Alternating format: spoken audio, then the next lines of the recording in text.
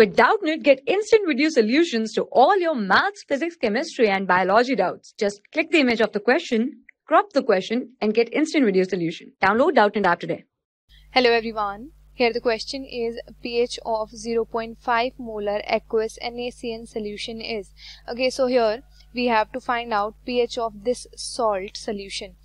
When we hydrolyze this NaCN, this will give NaOH that is a strong base plus HCN that is weak acid. Okay, so here for a strong base weak acid salt the pH of solution is half of pKw plus pKa plus log of C. Putting the values here pH is equals to half of pKw is 5 putting the values uh, here and after that pH of this NaCN solution is 11.5 and the correct option here is option 4 in which the pH of this NaCN salt solution is 11.5.